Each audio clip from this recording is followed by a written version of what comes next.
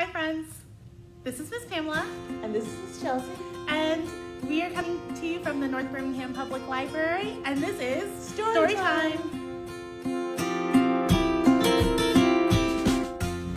Miss Pam, there this is a great book about animal opposites. Cool. There's lots of animal opposites like I've got this little mouse here and he is small. and this elephant is big.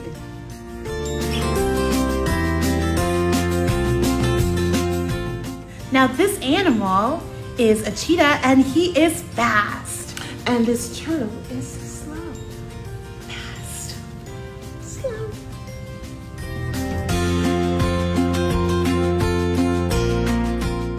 This polar bear lives in a cold place. And this monkey lives in a hot place.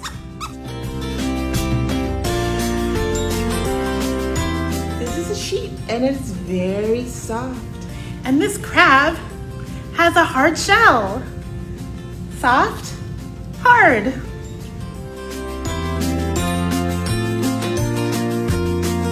This is a lion and it has a loud roar. And this is a little kitten and she has a quiet purr.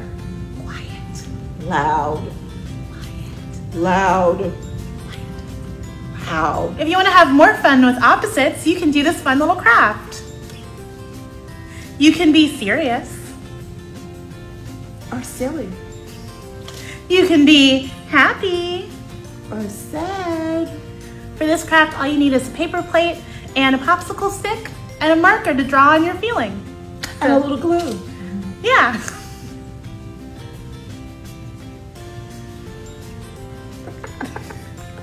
And if you want to read more books about opposites, Come see us at the North Birmingham Library.